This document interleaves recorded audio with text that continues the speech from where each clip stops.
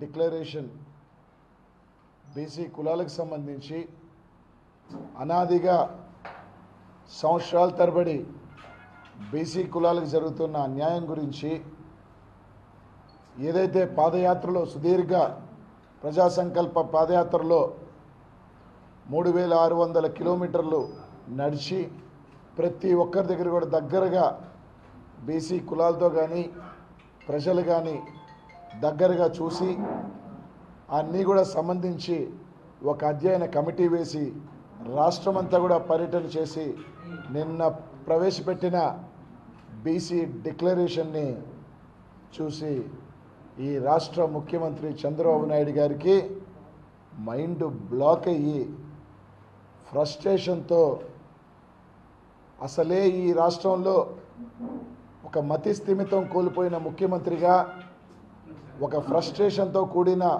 పాలన అందిస్తూ ఒక పక్క రాష్ట్ర ప్రజలు తొందరలో తన్ని బుద్ధి చెప్పే పరిస్థితులు ఉన్నాయని చెప్పి ఈరోజు ఒక పక్క రాష్ట్ర ప్రజలందరూ కూడా జగన్మోహన్ రెడ్డి గారి వైపు నడుస్తున్నారు అనే ఒక ఫ్రస్ట్రేషన్ ఈరోజు చంద్రబాబు నాయుడు గారిలో స్పష్టంగా కనిపిస్తుంటే నిన్న బా బీసీ డిక్లరేషన్ని చూసి బీసీ గర్జన్లో జగన్మోహన్ రెడ్డి గారు ప్రవేశపెట్టిన బీసీ డిక్లరేషన్ చూస్తే తెలుగుదేశం పార్టీ నాయకులకి వెన్నులో వణుగు పుడతా ఉంది.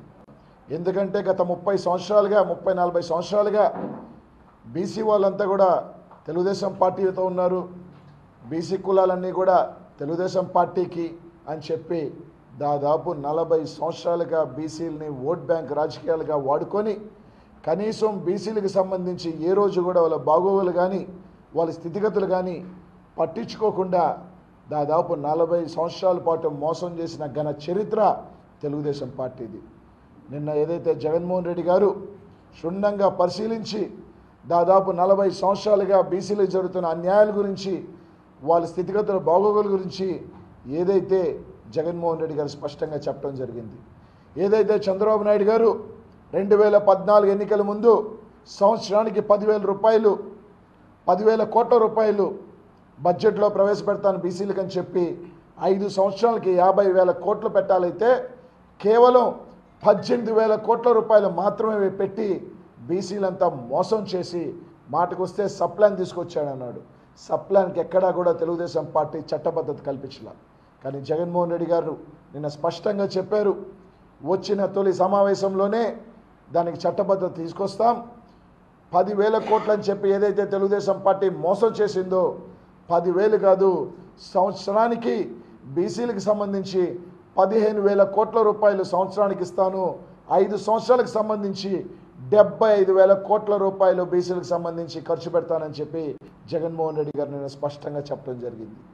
ఇదే కాకుండా అనేక సంవత్సరాల నుంచి బీసీలో ఉన్న ప్రతి ఒక్క కులం కూడా ప్రతి ఒక్కరు కూడా మాకు ప్రత్యేక కార్పొరేషన్ ఏర్పాటు చేయండి అని చెప్పి అనేక సంవత్సరాల నుంచి మా అడుగుతూ ఉంటే ఏదైతే జగన్మోహన్ రెడ్డి గారి పాదయాత్రలో ప్రతి ఒక్కరికి కూడా కార్పొరేషన్ను ప్రతి ఒక్క మీటింగ్లో సంబంధించి మీకు కార్పొరేట్ కార్పొరేషన్ ఏర్పాటు చేస్తాను అధికారంలోకి వచ్చిన తర్వాత అని చెప్పిన తర్వాత దాదాపు నాలుగు సంవత్సరాల తొమ్మిది నెలలు నిద్రపోయి కనీసం ఒక్క కార్పొరేషన్ని కూడా ఏర్పాటు చేయకుండా చిట్ట చివరి అసెంబ్లీ సెషన్లో బడ్జెట్లో ఒక రూపాయి కూడా ఒక కార్పొరేషన్కి పెట్టకుండా మీకు అన్ని కార్పొరేషన్లు ఏర్పాటు చేస్తామని తూతూ మంత్రంగా ఏదైతే కార్పొరేషన్లు కొన్ని కార్పొరేషన్లు ఏర్పాటు చేయడం జరిగింది. బడ్జెట్లో ఏమైనా కేటాయింపులు చేశాడంటే ఒక రూపాయి కూడా కాల్చల మరోసారి బీసీని మోసం చేసేదానికి ఈరోజు చంద్రబాబు నాయుడు గారు ఈరోజు అదే జగన్మోహన్ రెడ్డి గారు నిన్న స్పష్టంగా నూట ముప్పై తొమ్మిది ఉపకులాలకు సంబంధించి కార్పొరేషన్లు ఏర్పాటు చేస్తాం.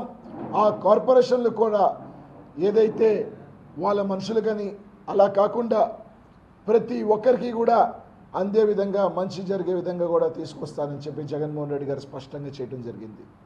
కార్పొరేషన్లే కాకుండా ఏదైతే దివంగత నేత రాజశేఖర రెడ్డి గారు తన ఐదు సంవత్సరాల హయాంలో ఏంటండి? వీడియో నచ్చిందా? అయితే ఓ లైక్ వేసుకోండి లేదంటే ఓ కామెంట్ చేయండి. ఎప్పటికప్పుడు మా వీడియోస్ చూడాలంటే సబ్స్క్రైబ్ చేసుకోండి.